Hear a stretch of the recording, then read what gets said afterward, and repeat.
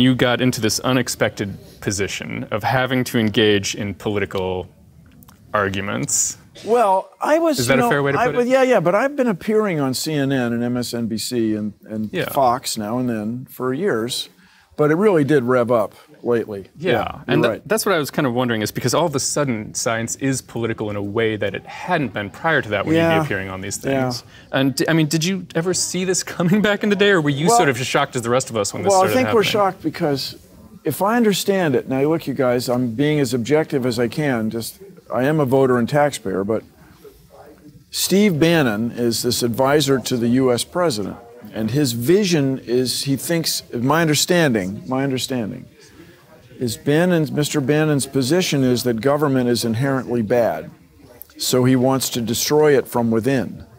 So is he has influenced the president to nominate or hire people for agencies that are singularly unqualified for it, Yeah. uniquely unqualified. To those of us in the science community, uh, the evidence for climate change is overwhelming. I mean, my goodness, let's go, people. It's been going on. And this last year, we got to 400 and a half parts per million of carbon Yeah. dioxide at a rate that is, uh, well, I guess a million times faster than has ever happened in nature.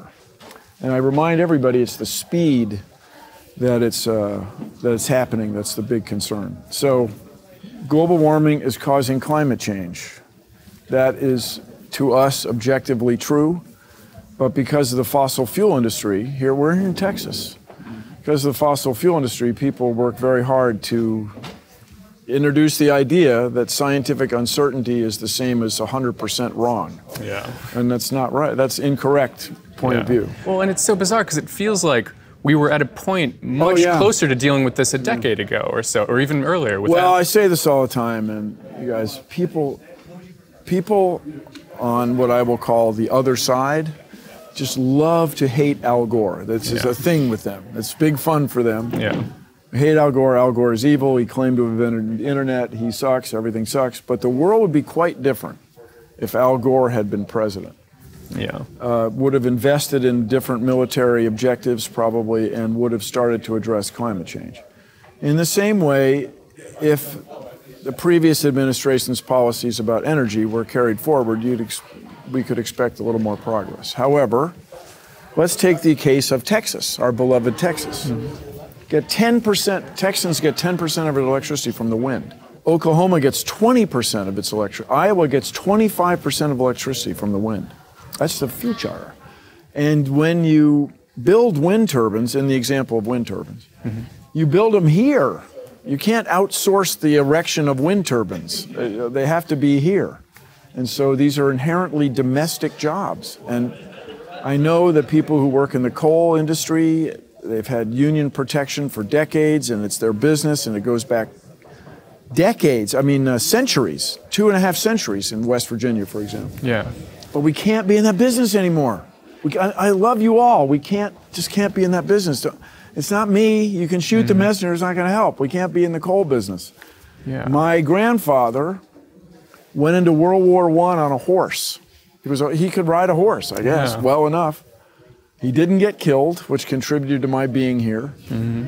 Uh, but nobody, no soldier nowadays, a small There's, showy yeah, there's a few. contingent There's a few horse horses, riders. yeah. but very nobody serious about it. It's riding a horse into battle. They're riding tanks. Yeah. A lot of people will acknowledge this and say, yes, we have to start phasing out. But if we had start started phasing out oil, for example, 20 years ago, Oh, yeah. we wouldn't be having this conversation. Well, you know, James Hansen testified in front of the U.S. Congress in June of 1988.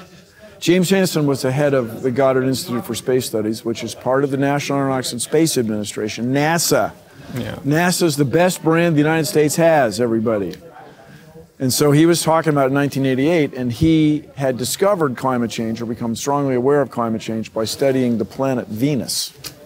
He saw, they observed the greenhouse effect on Venus and realized, wow, that's a serious business there on Venus. There probably are no Venusians because they would be cooked. The chemistry that we associate with life would just wouldn't work. All the molecules would dissociate, be uh, pyrolyzed. So uh, uh, this goes back decades, and the sooner we get started, the better. That's all.